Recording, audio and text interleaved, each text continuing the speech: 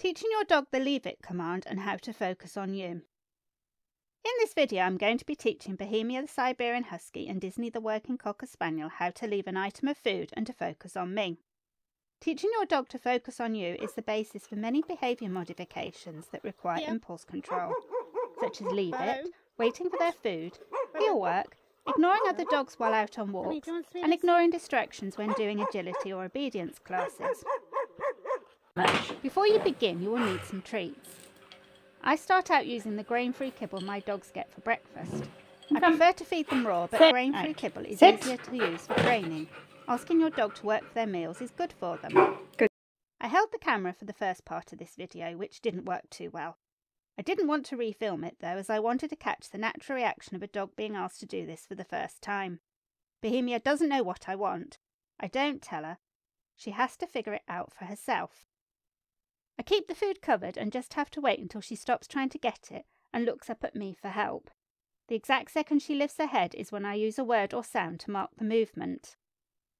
A marker word or sound is made so that your dog knows when they have done something right. Yes, good girl. I use yes as it's short and snappy to say. You can use a clicker if you like. I'm not a clicker fan. You always need to have it with you, and I can never remember what I've done with mine. It's not yes, possible to lose the word yes unless maybe you've got a sore throat. Using a word also keeps your hands free.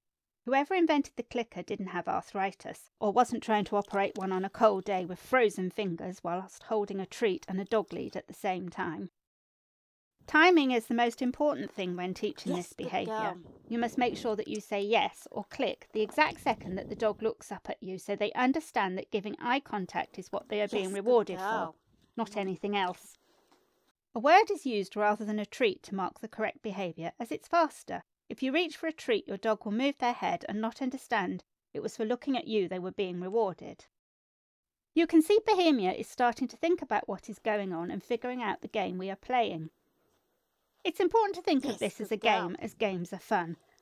Learning should be fun. Your puppy should want to play lots of games and learn new things with you. Bohemia picked up exactly what was required of her in one and a half minutes. Once the dog understands what you want them to do, you can gradually raise the criteria and delay giving the treat after you said yes to build duration.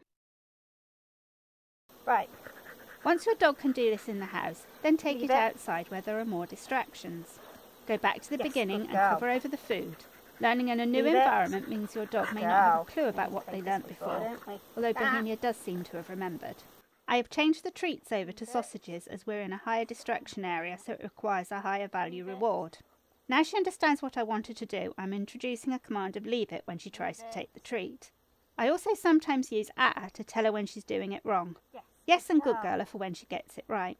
Some trainers don't like to use a word for when the dog is doing it wrong. I do. It's a bit like playing a game of hotter and colder. I think the dog learns quicker when they get feedback for both right and wrong. I increase the difficulty level further by placing the sausages onto her paws. This is a lot more tempting than on the floor, and I have to go back to covering the treat to stop her getting it. She does understand the concept of leave it now. And after a few false starts, she stays looking at me and not the treats. I then taught the same thing to working Cocker Spaniel Disney. She understands the leave it command, but it took a while for her to actually look up at me and not at the food. Bohemia was curious and came over to join in. So I couldn't resist working both dogs together and to see if I was able to get both to leave the sausages alone at the same time. I think we can say that they achieved it. Yes. Now to put that leave it command to work in a more real environment and to play Temptation Alley. I've spread treats in two lines and placed one under my foot. As I'm now standing up rather than sitting, I need to take things back to the beginning and cover the treat again. You can see that each time I change location and criteria, the Bohemia gets faster at picking up what I wanted to do. Once she looks up at me with the treat covered, we progress to uncovered. Good girl. Good girl. She now has the added distraction of Amadeus coming to watch what we're doing as well.